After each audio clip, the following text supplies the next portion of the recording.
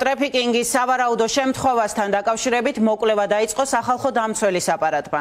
საქმე ეხება თბილისში მცირეწლოვანი ბავშვების იძულებით მოწყალების თხოვნას. ფაქტზე შინაგან საქმეთა სამინისტრომ გამოძიება 153 მუხლის მეორე ნაწილი დაიწყო, რაც არასრულწლოვნით ვაჭრობას და ტრაფიკინგს გულისხმობს. ჯერჯერობით უცნობია ჩაერთო თუ არა საქმეში ჯანდაცვის სოციალური სამსახური. რამდენიმე დღის წინ ფორმულას მოქალაქე დაუკავშირდა, რომელიც პირადად გახდა მოწმე, როგორ აიძულებდნენ მცირეწლოვნებს ქუჩაში სფეროში მუშაობას. მისი ინფორმაციით ავტომობილში კონკრეტულ პირს ხუთი არასრულწლოვანი ეჯდა. ერთი მათგანი კი მისი ნების საწინააღმდეგოდ გადასცეს ქალს, რომელიც ბავშვის გამოყენებით ფულს ითხოვდა. მოგვიანებით ფორმულა ჟურნალისტებმა ამ ჯგუფის მუშაობაც გადაიღეს.